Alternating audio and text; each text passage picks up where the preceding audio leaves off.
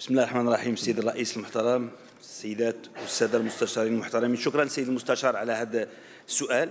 بغيت نشير أن المكتب الوطني للسكك الحديديه تعمل آه، جاهدا على مواكبة الطلب على النقل السككي وكذا تحسين جودة الخدمات المرتبطة براحة المسافرين وظروف السفر داخل المحطات وعلامة القطارات. في هذا الإطار توفر المكتب حاليا 38 قطار في اليوم في الاتجاهين بوتيرة قطار كل ساعة من الخامسة صباحا إلى الحادية عشر مساء على المحور السككي الرابط بين مطار محمد الخامس الدولي ومحطة الدار البيضاء الميناء اللي هي مرتبطة بباقي الشبكة الوطنية. الشيء اللي يمكن من توفير الربط بين المطار وعدد من المدن المغربية. فيما يتعلق بتعزيز الربط السككي بين المدن ومطارات المملكة قام المكتب بإنجاز دراسة استشرافية مهيكلة لتوسيع الشبكة السككية ببلادنا.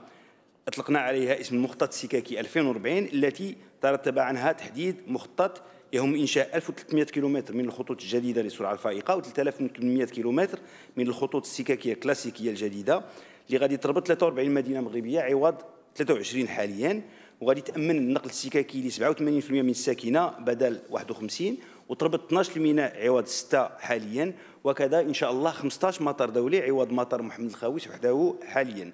وفي وفي إطار اشراع عفوا في إطار مشروع إنجاز القطار الفائق السرعة بين القنيطرة ومراكش عبر الرباط والدار البيضاء وكذا إنجاز شبكة السكك الحديدية الجهوية بكل من مدينتي الدار البيضاء والرباط. سيتم الربط بين المطار الدولي محمد الخامس دار البيضاء ومطار الرباط سلا بوتيرة أكبر مع الشبكة السككية حاليا.